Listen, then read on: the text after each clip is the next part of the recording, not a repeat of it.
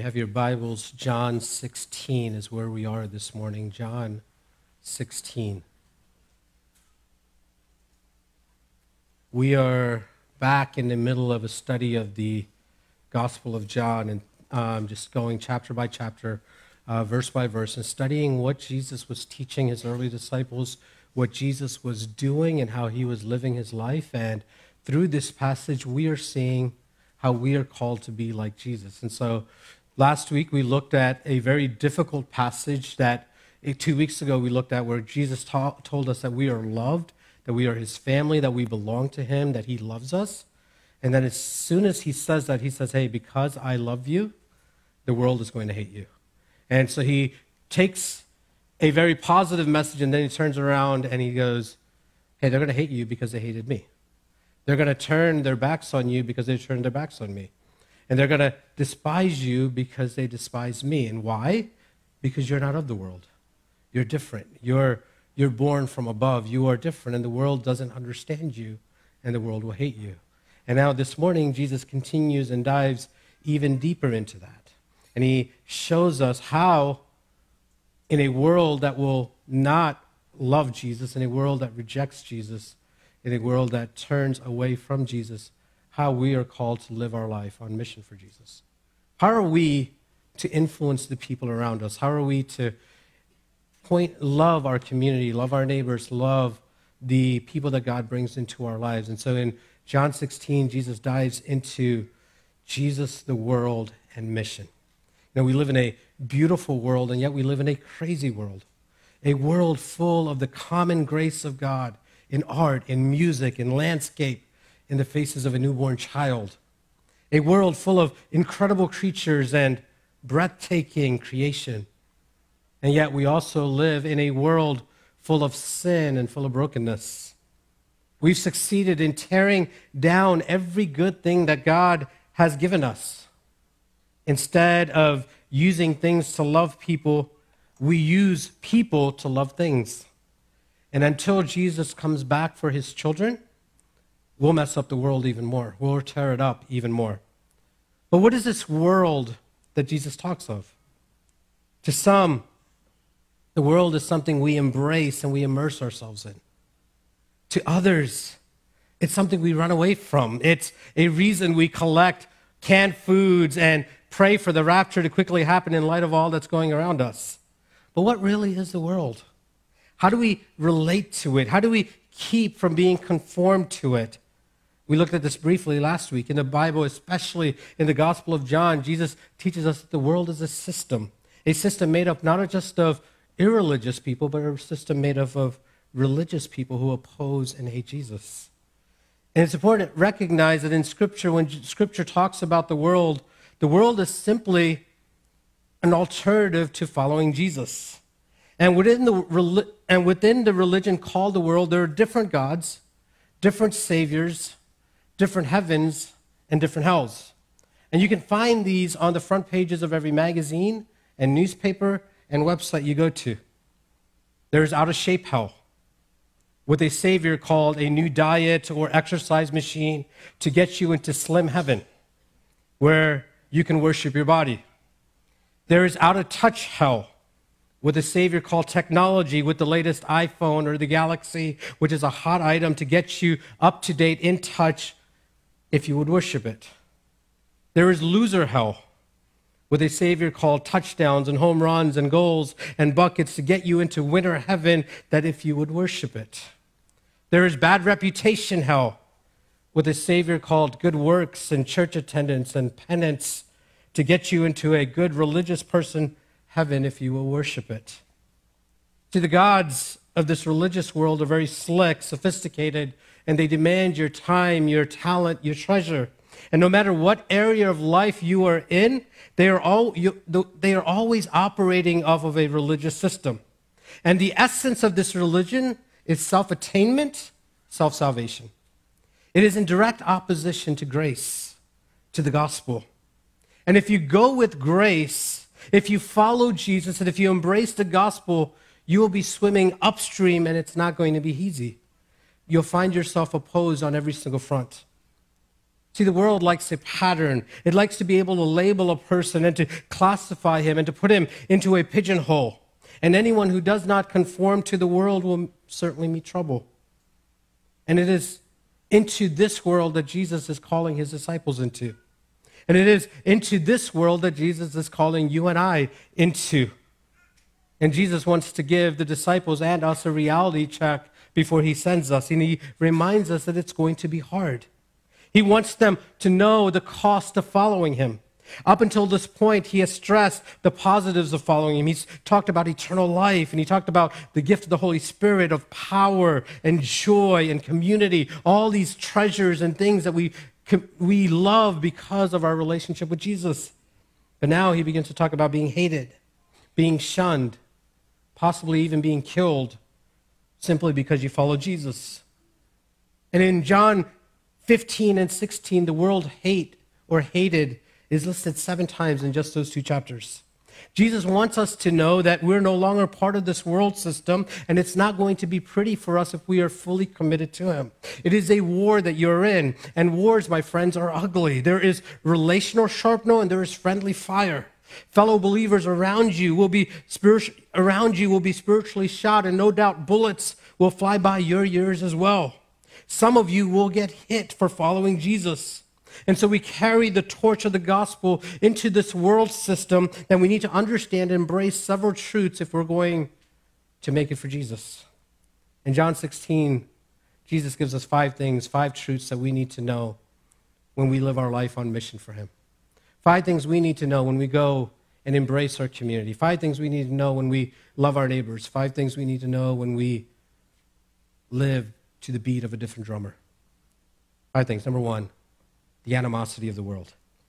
Jesus already told his disciples back in John 15 that this world, the religious system, will hate you because it hated him. Why did they hate Jesus? Why? Because he confronted them of their self righteousness, their self salvation pursuits, and they didn't like that very much. They didn't like his miracles because it showed them up, showed them up because many times the things they were doing for people that the religious things, religious people didn't approve of. They often thought their works were good, but standing next to Jesus, they realized that they were nothing compared to him. And even when one of them approached Jesus on how to fulfill the law, Jesus gets down to telling a story about a man who was mugged on the road and about a man who helped him. This religious man walked away disappointed in his own righteousness and his own works. Look with me, John 16, verse 1. I've told you these things to keep you from stumbling. They will ban you from the synagogues. In fact, a time is coming when anyone who kills you will think that he is offering service to God. They will do these things because they haven't known the Father or me. Jesus told them this to sober them up. It's not going to be all fun and games following Jesus. The reason he tells them this is, is so that when it happens, they won't be the ones collecting canned food and sitting in a fetal position, running away from the world. But he tells them these specific things will happen to them. Excommunication will happen to you. Murder will happen to you. Persecution will happen to you. You'll be put out of synagogues and places of worship. And these are significant things because they're the center of religious life for these people. These are also the social and economic life of these people. Following Jesus and taking the gospel into a religious world system was going to cost these guys everything. Their friends would shun them. Their family would exile them. They'd lose their jobs. Or if they were self employed, then they'd lose their customers. And all of them, except the Apostle John, would lose their lives at the hands of their persecutors. And the crazy thing is that those who did these things would think that they were doing it for God. They would think that they were doing the right thing. They would be eliminating a threat that was to their society. You remember Paul, before he got saved, he, in the name of God, began to kill Christians and began to persecute them. He realized that if this Jesus thing caught on in their community, whole industries would be shut down. And you read through Acts and you find out, even after Paul comes to faith, how they tried to kill him for preaching the gospel because it fringed on their livelihood.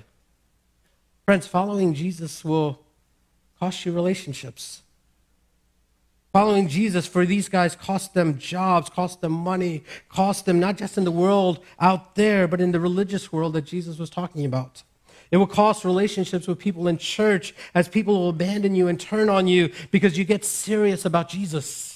It's okay that you come to church and do religious duty, but when you begin to live your life on mission for Jesus, when you begin to pour your life out for the cause of Jesus, when you begin to say, hey, I want to live on mission for Jesus, and you begin to sacrifice time and talent and treasure for the sake of the gospel, when you begin to open the doors of your home so that friends and neighbors could come in for the sake of the gospel, the world just doesn't understand that. Verse 4. But I've told you these things that when their time comes, you will remember I told them to you. I didn't tell you these things from the beginning because I was with you. Jesus is saying, hey, justice will be served. Their hour will come. I think this is one of the greatest arguments for Christianity. God is a just God who will one day right every wrong, and it is this belief that has enabled Christians to work for peace in the midst of persecution all over the world. It is this conviction that has enabled people to be gracious when they were wronged. It is this conviction that enabled them to say, hey, I will still believe in Jesus when they were facing death. I wouldn't be able to deal with a world if I didn't know that justice would one day be served. Jesus know that, knows that they're all troubled by this. Injustices will be done to them. And Jesus says, listen, they're not going to go unnoticed. I will see them. The hour will come and every sin will be dealt with. And Jesus knows all this too well because he will experience the greatest amount of injustice. For he will be the only one completely, he will be the only completely innocent victim of all time. He will do nothing wrong and everything right, and he will still be murdered for it. And when we walk into the world, we are marching to the beat of a different drummer. And we're following a crucified king, and we proclaim grace, and many will write us off as fools. But listen, it is not all grim news. No doubt the disciples at this moment were thinking, man, can we get a rain check on this? Can we like go back to fishing and doing all this other stuff we are doing? This following Jesus right now doesn't sound very profitable. In fact, it doesn't sound very healthy, and it doesn't sound like I'm going to live a long, healthy, rich, prosperous life. The good life now is just not happening. If you're going to follow Jesus, realize that there's going to be animosity. There's going to be people that will not understand you. They might not turn their backs on you and sprout evil things to you, but they just will not understand why you live for Jesus. But in the midst of that, I want you to notice the second truth, which Jesus teaches us here, is the activity of the Spirit. Verse 7 says, Nevertheless, I'm telling you the truth. It is for your benefit that I go away, because if I don't go away, the counselor will not come to you. I will send him to you. How is it to their advantage that Jesus goes away? How is it to their advantage that Jesus will leave them? If they were just going to go camp out on a mountaintop and roast marshmallows in the Judean countryside, then it will make no sense how Jesus' departure out of this world would benefit them at all.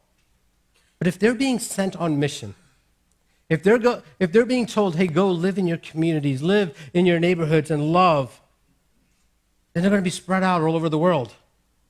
And Jesus couldn't physically walk with every one of them, but the Spirit could. Friends, the need of the Spirit necessitates the goal of the mission. We need the Holy Spirit because we're on a mission in this world, not just occupying space till Jesus comes back. What is the Holy Spirit going to do to them? Do for them? Look at verse 8. When he comes, he will convict the world about sin, about righteousness, and judgment.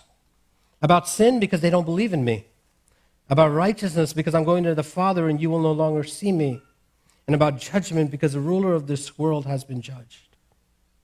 Jesus is saying, listen, the Holy Spirit is going to be the eye opener. He will help bring about repentance, or he will help convict to help people see their true condition. Remember, the world doesn't see their need and are mad when you tell them that they cannot make it to heaven by themselves. I don't think that was the Holy Spirit, though. Um, anybody have any idea what that was? Um, and it's not that we're telling them that they need help because what they need is a brand new self. They need to be completely transformed. And this Holy Spirit is helping those that we take the gospel to, helping to help them see the lie of autonomy that you can do whatever you want to do, however way you want to do it, and helping them to see the lie of self sufficiency that I have everything I need, so I don't need God. Think about how encouraging that is when you are on mission for Jesus. You know people that, if you're honest, you think will never come to Jesus. But, friends, they're not more powerful than the Holy Spirit. The Holy Spirit can soften their hearts in a moment. And God intentionally puts you into their life so that how you live and what you say through the Spirit that's in you can bring transformation to their lives. One of the epistles says, Christ in you. Peter says this Christ in you is the hope of glory. Christ in you is the hope of glory. Think about that.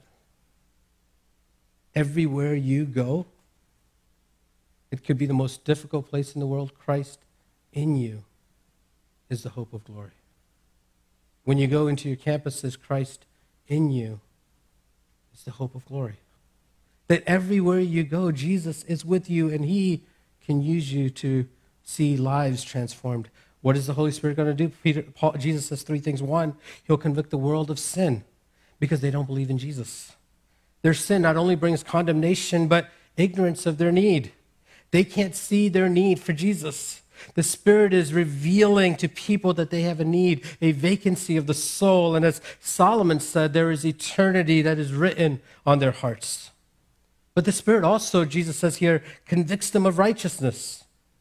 How are you convicted of righteousness? Remember, Jesus was speaking to a religious system who was seeking their own righteousness.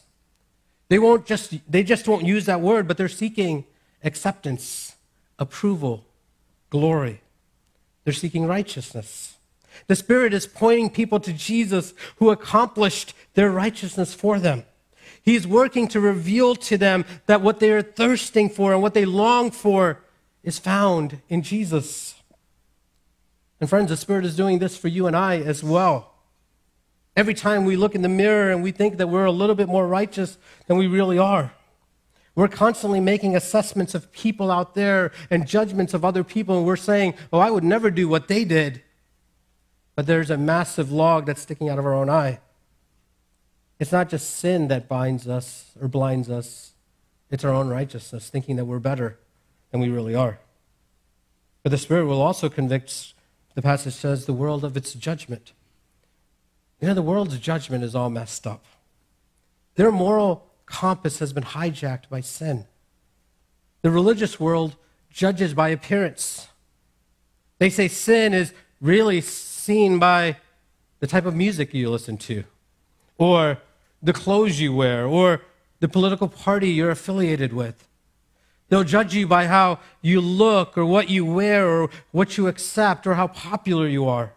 While others say that sin is things like when you don't recycle or do whatever is acceptable in this world. Our world, in full, with its, all of its irreligion and religion, doesn't have proper judgment. And the world needs to see that Jesus' judgment is perfect and just. He doesn't judge based off of opinion polls or the latest trends that's going on. He judges based on truth. And the propensity of the world and all of us is to minimize our sin in light of someone else's sins. But the Spirit is not only working out there in the world, but He's also working in here in us. He wants to change us before He begins to use us to change the world. Look at verse 12. I still have many things to tell you but you're not going to be able to bear them. And when the Spirit of truth comes, he will guide you into all truth. For he will not speak of his own, but he will speak whatever he hears. He will also declare to you what is come. He will glorify me because he will take what is mine and declare it to you. Everything that the Father has is mine. This is why I told you that what he takes that, that he takes from what is mine and will declare to you. What truth is it that you and I need to be reminded of? It's the glory of Jesus. The Spirit won't just be working on them, but working on us so that you can reach them. And friends, you and I constantly need to remind the Spirit, you need the Spirit to remind us of the glory of Jesus. That He is what you need because without that reminder, you will fall prey to the world's saviors. You'll forget that you need grace. You'll start comparing yourselves to others around you instead of Jesus. You'll start defining sin as what you do and you don't do instead of defining it as a lack of love and pursuit of Jesus. So we have the activity of the Spirit that's constantly keeping us humble before Jesus. We have two truths so far. We need to see the animosity of the world and the activity of the Spirit. The third truth that Jesus wants us to see from this passage is the assortment of emotions. See, when you live your life on mission for Jesus, it will stir in you all kinds of emotions, and Jesus wants to warn us and to encourage us in this. Being on mission for Jesus is like a roller coaster. It will be the greatest of times, and it will be the worst of times. Greatest of times because there is no greater joy than to serve, love, and proclaim Jesus. There's nothing better. It'll be the worst of times because you're on the front lines of a ministry and there is an enemy that hates you when you are on fire for Jesus, and he will do everything possible to discourage you. Verse 16 A little while, and you will no longer see me. Again, a little while, and you will see me. Then some of his disciples said to one another, What is this that he's telling us? A little while, and you will not see me. Again, a little while, you will see me, and because I am going to the Father. They said, What is this that he's saying? A little while, we don't know what he's talking about. Jesus knew they wanted to ask him, and he, so he said to them, Are you asking, about, asking one another about what I said? A little while, and you will not see me, and again, a little while, and you will see me? What are they confused about? They're distraught and they're discouraged because Jesus has told them that he's leaving them and that the world will hate him. He is their anchor. He's their hope. He's who they've been pursuing for the last three years. And without Jesus, there will be a sailboat with no sail on uncharted waters. And he just told them that the winds of the world are going to blow against him. And now it seems that Jesus is saying, hey, the winds are going to blow against you. And I'm, by the way, I'm not going to be with you. You're going to be here alone. Verse 20. Truly, I tell you, you will weep and mourn, and the world will rejoice. You will become sorrowful but your sorrow will turn to joy. And Jesus explains to him here in this passage that in a little while you, he will die. And they will weep and cry because their hearts will be broken, but their hearts will soon be mended. And what's going to look like a tragedy is soon is not only going to be seen as a necessity, but it's going to be wonderful. And the disciples experienced this at the resurrection of Jesus. Verse 21. When a woman is in labor, she has pain because her time has come. When she has given birth to a child, she no longer remembers the suffering because of the joy that the person has been born into a world. So you also will have sorrow, but I will see you again. Your hearts will rejoice, and no one will take your joy from you. You know, in giving birth, a mother goes through extreme pain physically, and emotionally. Any of you that are parents in this room, you remember the day that your child was born, right? There was a lot of pain, there was a lot of discomfort, there's a lot of worry. And who has, who has any idea what the wife is going through at that moment, right? Um, but then you begin to hear the cry of the child. And the doctor takes that child and holds it in her hands and hands it to you, and you realize that this is your son, that this is your daughter, and all of it was worth it.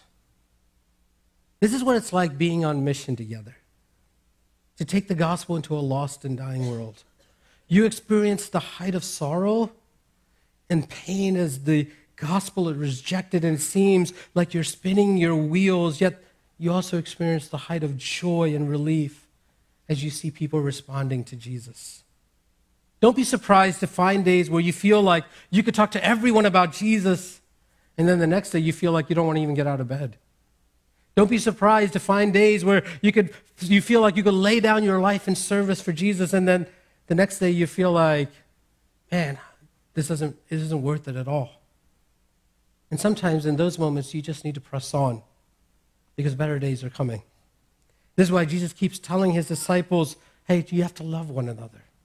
You need to be with one another. You need your community. You need people around you to help you. And you need to know that you have constant access to Jesus no matter how you may be feeling today. Friends, Jesus doesn't answer calls based on your emotional status. He doesn't do he doesn't go check your Facebook status to find out how you're feeling today. He answers you no matter what your emoji is for today. He will always respond to you. Verse 23.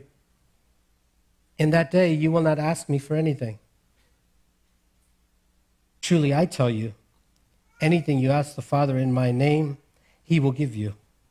Until now you have asked for nothing in my name. Ask and you re- will receive so that your joy may be complete.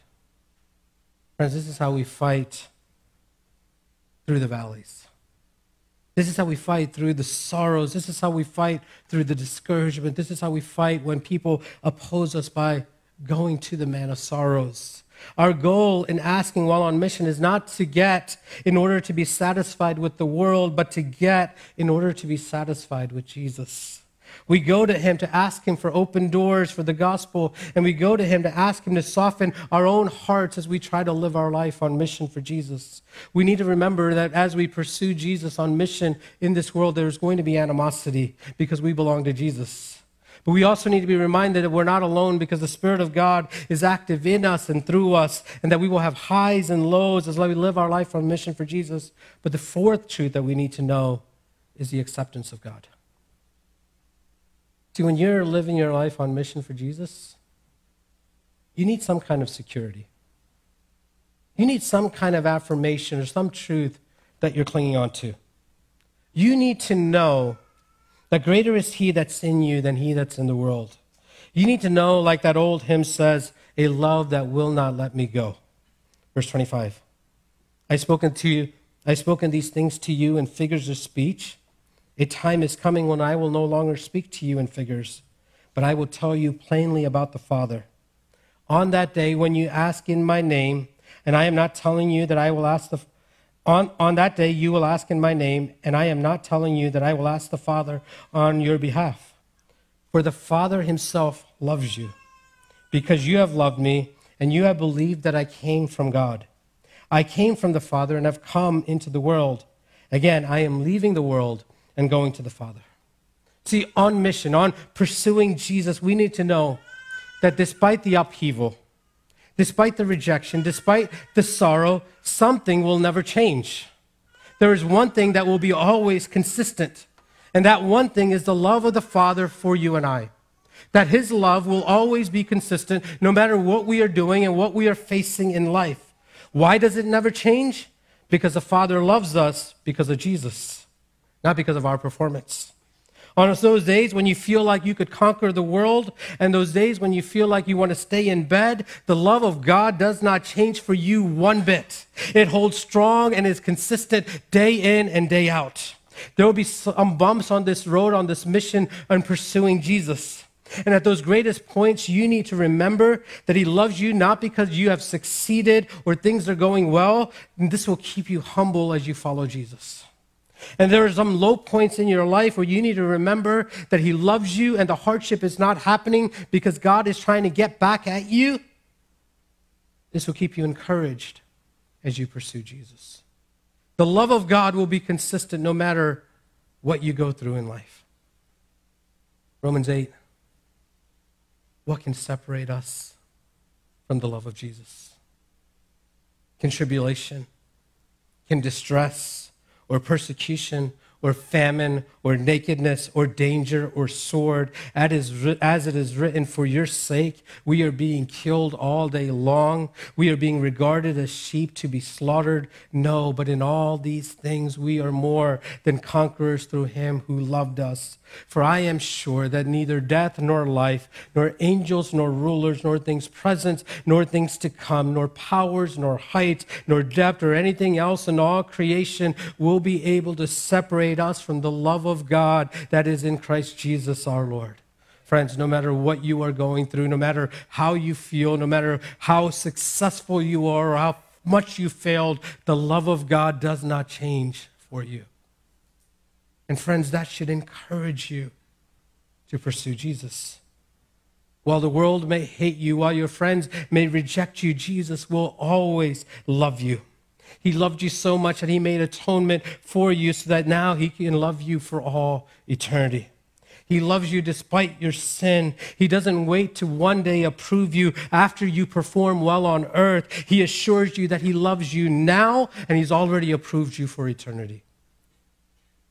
Think about that. It is crazy out in the world trying to love Jesus, to love people, and to tell people about the love of God for them. And in the midst of all of that craziness, in the midst of the ups and the downs, the successes and the failures, there is nothing you and I can do that can change God's unconditional love for us. We can't make it stronger and we can't make it weaker because the Father's love is completely because the Father's love is completely wrapped up in the Father's love for Jesus and the Father's love for Jesus never changes. He loves you. He loves you. No matter how much you failed this week, you need to hear this morning He loves you. No matter how well your week was this week, you need to hear He loves you. And look at how the Father's, look at how the love of God is with us even when we fail. Look at verse 32. Indeed, an hour is coming and has come when each of you will be scattered to his own home, and you will leave me. And yet I'm not alone because the Father is with me. Jesus saying, hey, within a matter of minutes, in fact, maybe even less than an hour, all of you are going to scatter and run away from me. You're going to be like a dog with its tail between its legs, cowering, running. And as a result, I'm going to be left alone, and none of you are around me. But the Father will not abandon me, at least not yet. When Jesus becomes sin on the cross, he will be left alone and he will experience absolute abandonment. And Jesus tells them this so that they don't get cocky, so they don't think they're all self reliant and self sufficient. Jesus consistently keeps knocking them off of their own pedestals on a daily basis. Jesus has been dropping hints all along to keep them humble and to keep them conforming to the world system, from conforming to the world system. Last week we looked at this verse, John 15, verse 18 says, If the world hates you, understands it hated me before it hated you. If you were of the world, the world would love you as its own. However, because you're not of the world, but I have chosen you out of it, the world hates you. See, the reason they're no longer in this religious system is because you've been chosen by God. And Jesus is telling them that you're no longer of the world, but not because you're smarter, not because you're morally superior, not because you were the best of the crop. You're no longer of this world because of his pure grace and kindness. And Jesus says that the world will persecute you because they don't know the Father, they don't know the grace. And so don't take it personally. He tells them this to temper their pride and to keep them humble, realizing that if it wasn't for grace, you would be doing the exact same thing. They're loved by God because they're loved by God. You are loved by God because you are loved by God. We need to embrace the fact that the only difference between us and those caught up in this self atoning, delusional world is grace. We all abandon Jesus in the moment of greatest need. We are the disciples. And yet, despite of that, we can't shake the love of God. In the words of the song that was recently written, oh, the overwhelming, never ending, reckless love of God. It chases me down, fights till I'm found. It leaves the 99. I couldn't earn it. I don't deserve it. Still, you give yourself away. Oh, the overwhelming, never ending, reckless love of God. We're hated by the world because we're not, we're not of the world. But in spite of that, the Spirit is in us and active everywhere we go. And in that journey on mission, we're going to experience highs and lows. And regardless of what emotional feeling you experience, God's acceptance of you does not change. Last point the achievement of Jesus. Verse 33. I've told you these things so that in me you may have peace. You will have suffering in this world, but be courageous. I have conquered the world. Jesus says, Hey, you can have peace. You can have calm within the storm by remembering and embracing the things he said. It's going to be difficult in this world with all of its temptations and practices that and, and all of its temptations and practices have been overcome. Jesus has conquered. It is where we get the Greek word Nike from. And in chapter 14, verse 30, Jesus said, Listen, Satan has no claim on me. He's a defeated foe. In the same way, the world system has no claim on me. He's a defeated foe. Jesus overcame the world by his life in spite of all the temptations and pain. He stayed the course and he finished the race. He held the line. He also overcame it by his death, by paying the price of sin on the cross. And he finally overcame the world by the resurrection, by rendering the world and death powerless. Friends, the world, just like Satan, has no hold on you because it has no hold on Jesus. If you are in Christ today, you need to claim this truth despite how alluring the world system may be, despite how tempting it is to worship something or someone other than Jesus, despite how crafty Satan may be. Jesus has overcome the world and Jesus has overcome Satan. And because you are in Jesus, you have overcome as well. Remember, the ideology of the world is that you can do it. It's summarized in Nike's slogan just do it. The world system says just serve, just give, just devote yourself to a system. And when you do that, you can gain happiness, you can gain glory, you can gain success. It is all within your grasp, the world says. Every religion in the world will say something similar. You want nirvana? Here are things that you can do. You want God to accept you? Here are five pillars that you should keep. You want to be happy? Here are five steps to happiness and freedom. But only Christianity says you want to be a Christian? You can't do it. You can't do it. Only Jesus can fulfill the Nike slogan because only He can just do it. And friends, He did it. He overcame. He achieved victory for you and I, knowing that Jesus has paid it all and rescued you, even though you were his enemy, even though you hated him, even though you betrayed him, is what propels you to live your life on mission for Jesus. Others will turn and see you and say, but nothing could stop him. After 50 years of ministry and swimming upstream against a religious world system, a friend asked Charles Simeon, who was a pastor in England back in the, 19, in the 1700s, he, how he surmounted persecution and outlasted all the hatred that he experienced for following Jesus. And he said these words He said, My dear brother, I don't mind a little suffering for Christ's sake. When I'm going through a hedge or I'm going through some thorns, if my head and my shoulders are safely through, then I can bear the pricklings of my legs.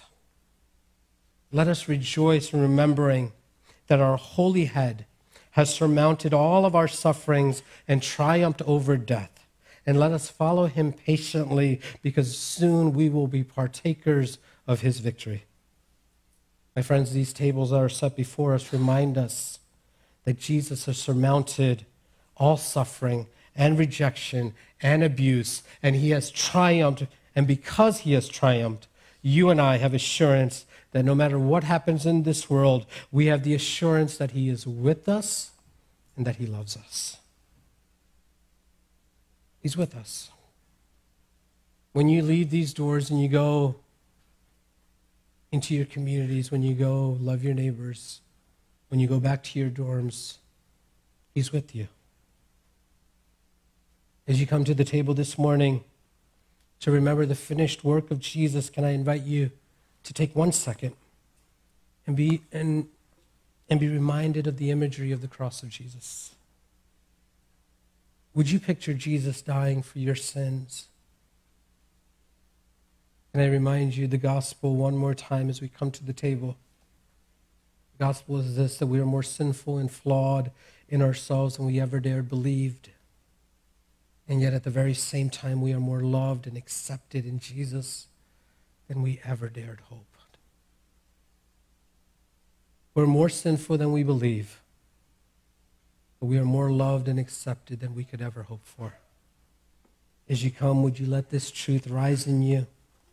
Would you let the truth of the gospel propel you to love the people that God has brought you into your life when you leave the doors of this building?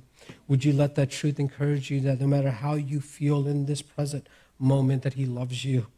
Would you let that truth transform you so that you will serve not to get acceptance from God, but because you have already been accepted by God? Friends, if you need prayer this morning, Shannon um, and John are back there available to pray in the back of the sanctuary, and would love to pray with you. Whether it's something that the Spirit is convicting you of this morning in regards to the sermon, or if you just want prayer for something that you're going through in life, or if maybe God is bringing someone to your mind that God is saying, hey, I want you to live on mission and love this person unconditionally and point this person to Jesus, and you just want someone to pray with you, would you head back there? Would you pray with them? Just let them encourage you as they pray over you. And then when you're ready this morning, would you come? grab the elements from the table as we remember the fact that the reason we're here is because He loves us. Because He loves us. He's redeemed us, He's called us His own. And so as we worship this morning, would you meditate on the cross? Would you meditate on His finished work? And then when, when you're ready, would you come? Let's worship together as we take communion. Let's worship.